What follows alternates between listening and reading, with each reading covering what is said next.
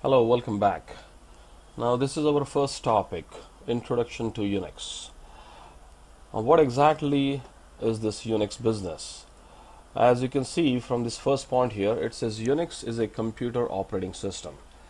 I'm going to explain a little bit more about what exactly the operating system is. Uh, let us see, or let us start from the very basics. We're going to look into what exactly a computer is made up of. A computer is made up of what? A CPU, which would, which what we call as a central processing unit, which is a brain of the computer. Then the second thing that this computer has is the RAM, random access memory, or many people call this as memory. Uh, these days if you go to the market uh, the memory is uh, getting cheaper. So it is very common to find out a computer with the memory of 8 gigabytes of RAM. Uh, in earlier days it used to be in megabytes because it was too expensive.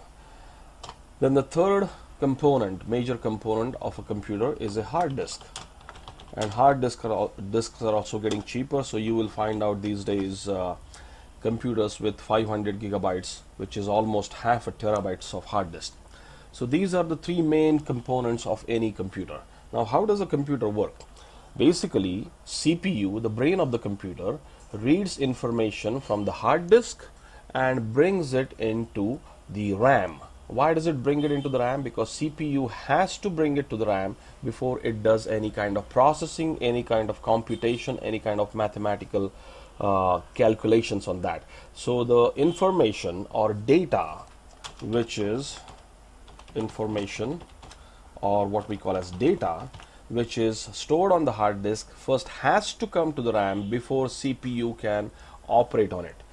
And then once the CPU operates on it it will modify that data and again it will write it down to the disk. This is how it works. So if you open up a word document it will be actually opened in the RAM first and then written to the hard disk this is how things will work. Or if it is already on the hard disk then it will be brought into the RAM modifications will be done into the RAM by the CPU and then it will be written by CPU to the hard disk. So these are the three main components. Now you will also see other peripheral components which are the uh, network card.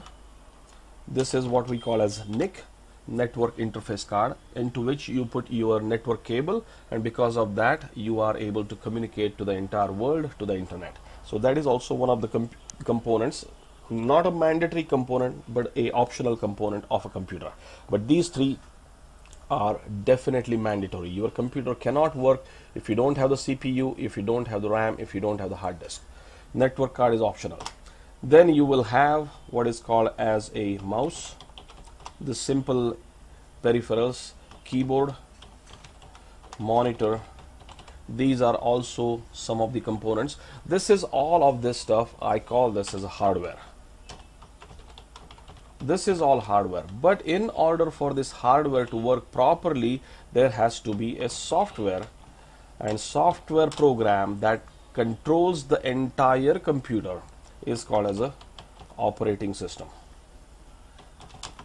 so what is an operating system? It's a software program which controls the entire hardware. And there are many many different types of operating systems which are those? The most common is from uh, uh, Microsoft Windows. This is from Microsoft. Then the other one is uh, Mac OS which is from Apple. Then uh, there are various flavors of Unix uh, these flavors are something called as AIX, uh, Solaris, uh, all that stuff is there. And uh, then there is Linux, which is I consider as a flavor of Unix also. Many people don't consider that. I will tell you why there is this kind of a distinction.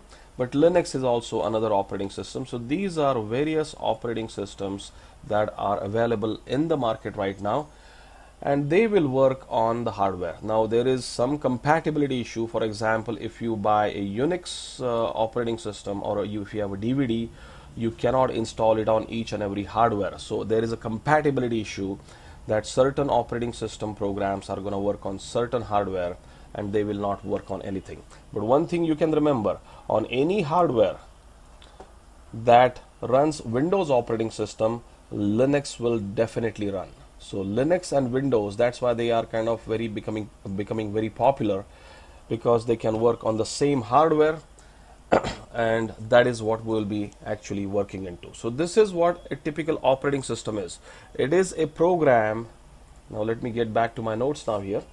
So what is an operating system? To summarize it, it is like this. An operating system is a program that controls all the other parts of a computer system both the hardware as well as the software. So I just mentioned that the operating system controls the hardware but it also controls the software program that you install later on in that operating system. So for example, if you have Windows operating system, it is going to control your CPU, it's going to control your hard disk, it's going to control your memory, and at the same time, it's going to control your Microsoft Word, Microsoft Office, uh, Windows Explorer, those are the software programs. So the program that controls both hardware and software is the operating system, is what we call as the OS operating system. Uh, and then it's the same point discussed further that it allocates resources uh, to various programs that are running on that machine and it schedules tasks. We will see all these things in much more detail. Right now just remember the point that OS is a operating system that controls the hardware and the software.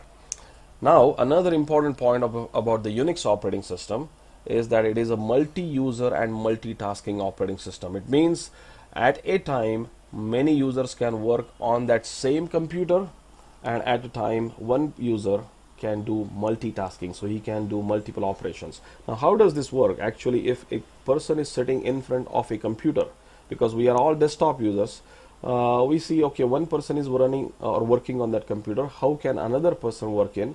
It obviously happens through network another person sitting somewhere else in some different location maybe in a different country can log on to your computer in front of you remotely through network and he can still use the CPU, the memory, the hard disk. He can create files on your hard disk even though he is sitting somewhere else in the entire different location.